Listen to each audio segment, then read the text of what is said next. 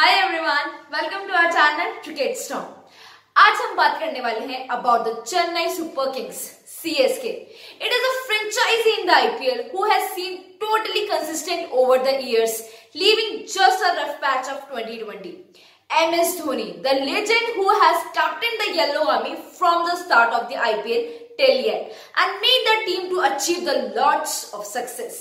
They are the second most successful team after Mumbai Indians as they had lifted the IPL trophy three times in the history. पिछले साल पहली बार से देखा गया था कि ये टीम सबसे पहले नॉकआउट हुई थी। लेकिन ये टीम जिस चीज़ के लिए जानी जाती है, वो है कम और इस साल हमें वही देखने को मिला। इस साल टीम ने काफ़ी अच्छा प्रदर्शन किया है और इस साल ये स्टैंड कर रही है सेकंड पोजीशन पे with the five wins from seven matches तो आज हम बात करने वाले हैं सीएसके के उन्हीं तीन प्लेयर्स के बारे में, जो इस साल इन्हें चौथा टाइटल जिता सकती है। तो बिना किसी देरी के चलिए शुरू करते हैं। सबसे पहले आते हैं हमारे पास रविंद्र जडेजा।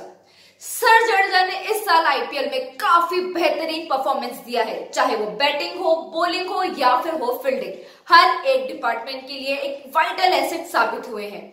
इनका आरसीबी के खिलाफ एक ओवर में 37 run banana was the pick of the movement till yet he scored 131 runs with the humongous strike rate of 160 plus और यही नहीं, सात मैचों में उन्होंने छह के इकोनॉमिक रेट के साथ छह विकेट्स तक लिए हैं।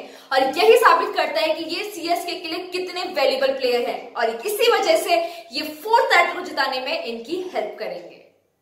दूसरे प्लेयर है हमारे पास Sam Curran In the previous edition, only positive thing CSK achieved was this young boy Sam Curran. His all-rounder ability has been commendable since last year and even continuing his sparkling performance in this season. Till yet, he picked 9 wickets in the 14th edition and scored run with a strike rate of 208. So this states how valuable he is for the Yellow Army. आखिरी player है हमारे पास Moeen Ali.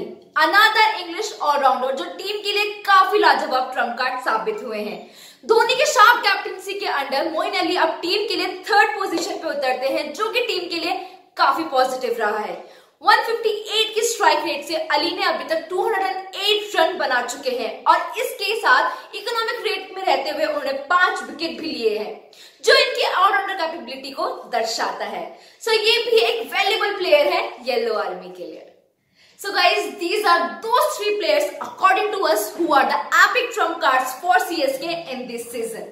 आपके मुताबिक ऐसे कौन से तीन players हैं जो कि चेन्नई सुपर किंग्स को हेल्प करेंगे उनके फोर्थ टाइटल को जीतने में?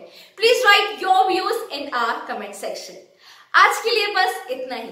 Stay tune to our channel for more cricket updates thank you